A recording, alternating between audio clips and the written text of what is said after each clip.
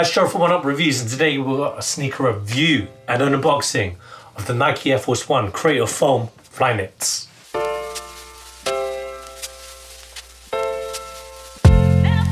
Before we get to our review, guys, if you're new to our channel, remember to hit that subscribe button, hit that notifications bell so you never miss any of our latest reviews. Slap that thumbs up. We want to see those likes. It helps us with the algorithms. Drop some love in the comment section below. We try our best to reply to every single comment that's thrown our way. And I just want to take this time and opportunity to thank our subscribers, new and old. Without you guys, we weren't able to do this. Thank you. Let's get into it. So today, we've got a look at the Nike Air Force One Crater Flyknit trainers, and we got this in the, forgive me, this isn't grey. No, it's grey. That's what they called it. Now, since this is one of the Crater Foam sneakers that we have done, we have done these in the past. That's what I'm alluding to. Check those out. We've done the Crater Impact. Check that review out, uh, get into more detail, but I'll give you the little highlights when we show the Air Force One version.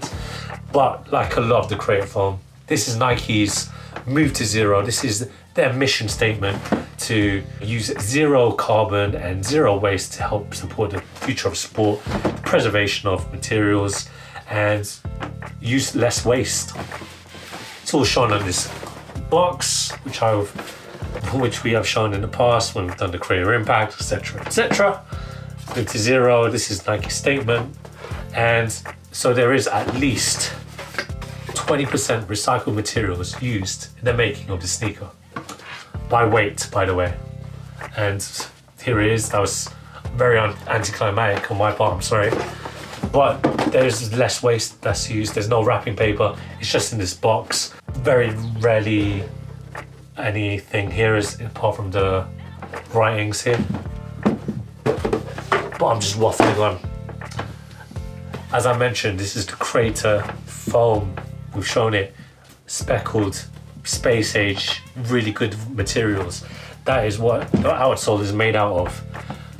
Obviously, as it's an Air Force One, you've got that traction patterning here. You can find it all Air Force Ones with the star traction that is found here on the toes and there on the heel. Very lightweight, guys. Gonna have to take my words. If you've Flyknit sneaker before, lightweight. You know what you're expecting. It's made out of that knit material. The midsole unit is again made out of the Crater foam. There is an air unit that's in here, just encapsulated in this foam. And the Crater foam is a lot of recycled old products from Nike that make this foam. And you've got this space age speckle, hence the crater. You've got that space theme that's mentioned here. This does look futuristic. I mean, you can still see that it's the traditional Air Force One silhouette. We move along into the upper. Flyknit materials, synthetic, it's nice, lightweight, makes the majority of the sneaker, you can see it all around the whole body, right there. You got this, it feels like synthetic, that little bit of the Velcro, there's not Velcro, um, I can't, for the life of me, I don't know the name of the real materials, but it's a synthetic material here that makes a swoosh on both sides of the lateral and the medial. You can see it as well on the heel, where you've got the Nike Air logo there. Move along onto the tongue.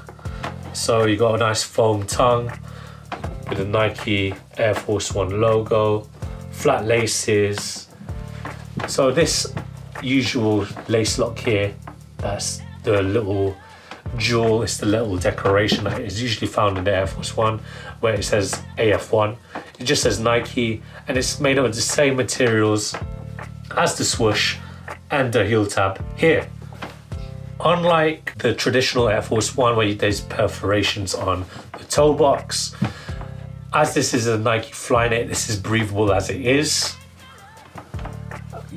you you can still see like the little shapes, the outlays that would make the outlays over an Air Force One. It's all shaped here, more speckles to indicate that shape of the outline. And you can see it kind of separates on the heel counter as well. Very nicely padded around the ankle support. And you look at the Nike pinwheel logo that's inside. Great to see that Nike of you are using their uh, how can I say this? They've moved to zero. They've incorporated it into one of their timeless silhouettes. We've seen it all before though. I've seen the, Jordan 1 Flyknit. it. I mean, I've seen people wear it. Didn't really hit off. Hopefully these hit off, but I'm not gonna lie to you guys. As great as a project, as great as a product like this is for the environment, for the world, sustainability, all that. We love it. We do love it. Unfortunately, it's not white on white Air Force One. And we have done a review. That was in Chris's time, so check that out. We might do another one, an updated Air Force One. I'm just being really egotistical because I want to do more videos with my face in it, really. So that's just me. I mean, this is great as a product. Personally, I'm not the biggest fan. I'd rather have a pair of white Air Force Ones. But it's great to see Nike doing their little bit. So I'll try these on and give you my thoughts, feelings, and emotions. So roll out footage of me trying these on.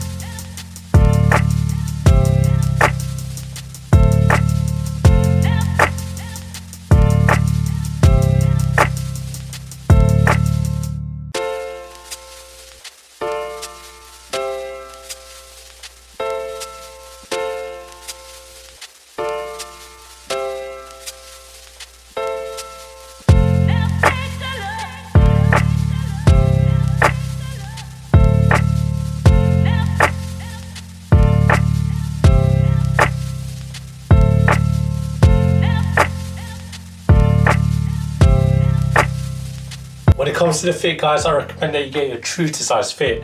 This is a UK size 7.5. I don't believe I told the sizing, which is my fault. So this is a UK size, size 7.5, it's European 42, and it's a US size, men's size 8. So with all that said, I got my true to size fit. It's very lightweight, as you can see, I'm like lifting my legs a lot. Uh, it looks dope. But again, like I said, guys, I'd rather have the pair of white and white Air Force Ones. As uh, beneficial as this is to society, it's not beneficial to my outfit. But in regards to comfort, it's very nice. Crater foam, it's very cushiony underneath. And again, the flyweight material, flyweight, the Flyknit material is very lightweight, comfy, it's not pressing against my feet. It's not making it tight or snug. Just roomy, just a nice fit. So if you are able to get a pair, try and get your true to size fit.